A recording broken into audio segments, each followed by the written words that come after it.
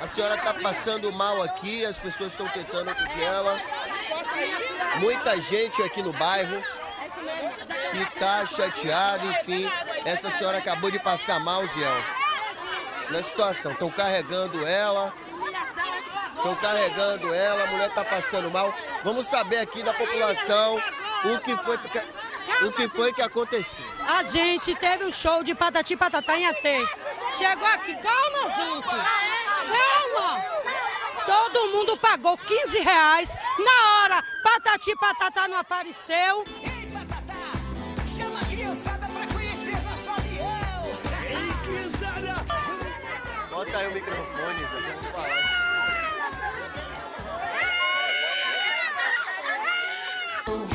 quem quer brincar? Ele comeu o dinheiro da gente e a Polícia Civil levou ele. A polícia está aqui no local. Você comprou o ingresso com antecedência 3?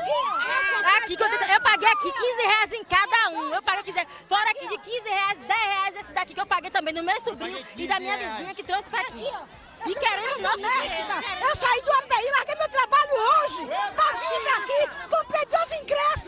Show era de patati show patatá. era de Patati Patatá. Só que eles não vieram. Eu, eu acredito que Patati Patatá não fez essa palhaçada. Quem quer brincar nesse avião, levanta a mão. Quem quer brincar, levanta a mão. Com patati, com patatá,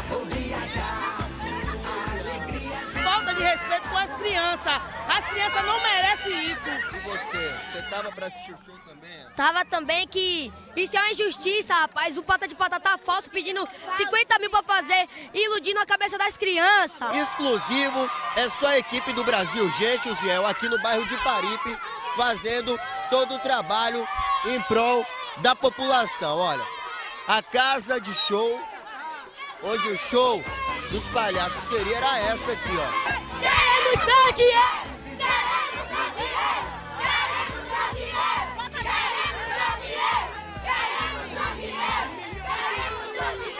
A senhora também, Eu tava aqui completo, tô com minha filha passando mal, ó. Porque a ela criança tá chorando aqui. passou mal aqui dentro. Com medo, que ela não pode ficar ver briga. Ela não pode ver briga nem polícia, que ela fica em estado de choque. Já passou mal aqui dentro, já hoje aqui, tá aqui até agora desse jeito.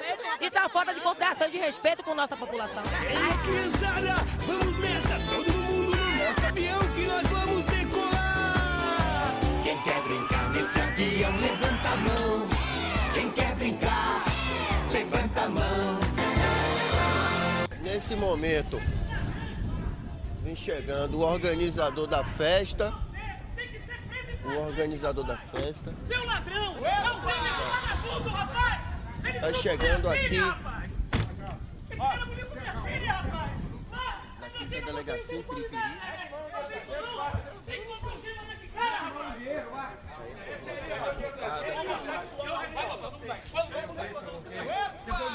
a gente, rapaz.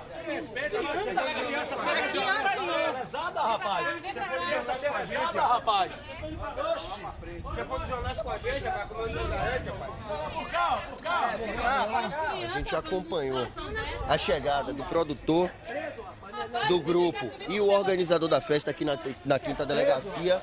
E tá aqui as pessoas que estavam lá na casa de shows, El, vieram para a porta da delegacia para cobrar os direitos, cobrar o dinheiro que pagaram no ingresso para ver o show. Não viram. A gente vai acompanhar todo o caso. Aqui, ó. Gente, eu tô aqui. Esse rapaz, tô com o telefone das vítimas aqui. Ele foi preso em flagrante, só que tem que lavrar o o flagrante dele, porque isso aqui é 171. 171. 171, ele tem que ser encaminhado para O especialidade. branco mais alto é o produtor da banda. Ele ali, ele, tá, o careca ali, ele tá todo envolvido. Aqui, ó, o cartão dele. o mais alto, o branco. O branco, disse que é o branco, o empresário. Empresário de quem? É Matos, é Matos. Patati Patatá. Empresário do grupo. Deram essa ficha aqui pra devolver o dinheiro. Diz que não tiver essa ficha aqui, não vai devolver dinheiro a ninguém. Só deram Ainda depois vendeu ingresso. Tá ali o produtor da Ele festa. tá aí, ele foi levado, ele foi levado pela delegacia de Piri, daqui de Piripiri, de lá. Eu não estava no local, minha esposa estava e todo mundo aqui estava. Eu vim do meu trabalho, porque ele, ele é 171, ele tem que ser encaminhado para a delegacia especializada. Eu já comuniquei meu advogado, ele está vindo para cá e eu vou processar ele. E não quero mais 10 reais, não, quero muito mais. Israel, agora aqui dentro da quinta delegacia, eu tô com o Paulo Henrique Pérez, não é Correto, isso? correto. É o representante da Patati Patatá aqui na Bahia e vai explicar o que foi que aconteceu. O pessoal tá revoltado aí. O que, é que aconteceu? Não, acontece que teve- tivemos aí um pessoal se fazendo pela Patati Patatá, né? Original e não é, são todos cover. Eles estavam. Eles estavam se passando pelo Patati Patatá original, já com show vendido, tudo vendido, bilhetes, tudo, tanto que o povo está aí revoltado querendo dinheiro de volta. E nós conseguimos embargar o show, parou o show, o show foi Foi freado. você descobriu. Oi? Pelo, ah, na verdade, foi alguém da comunidade que ligou no escritório em São Paulo. E nós começamos a levantar a lebre e eu vim até aqui, comprei o ingresso, passei tudo para o jurídico de São Paulo e viemos aqui através do advogado que está lá dentro para embargar o show. E o show foi embargado. Você já conversou com esse pessoal que estava se passando pelo Patatá?